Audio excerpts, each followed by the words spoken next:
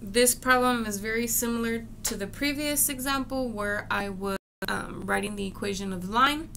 This is an application problem. So it says, suppose that a household's monthly water bill in dollars is a linear function of the amount of water a household uses in hundreds of cubic feet, HCF. When graphed, the function gives the line with slope of 1.75. If the monthly cost for 18 HCF is $47.64, what is the monthly cost for 14 HCF?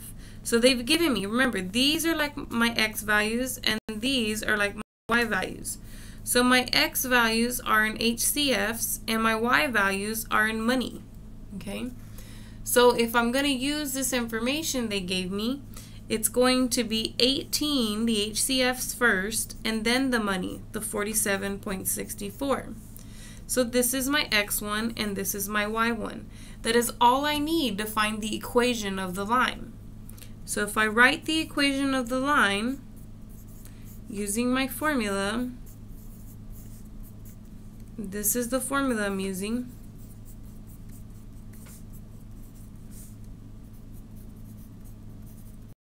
All I need to do is distribute the slope and then combine the like terms.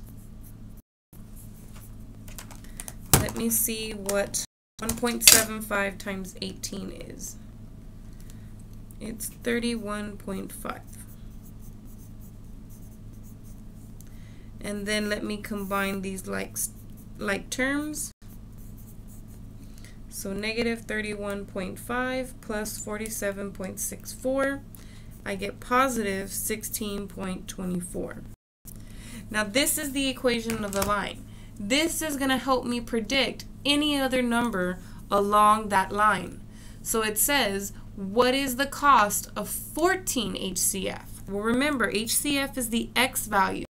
So if they're asking me for 14 HCFs, then that means I'm going to be plugging in 14 for my X value.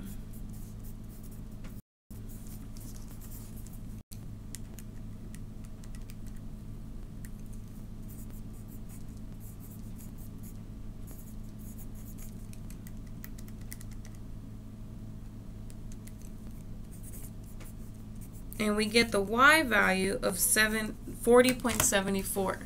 But remember, the y value represents money. So this is how much it would cost for 14 HCF.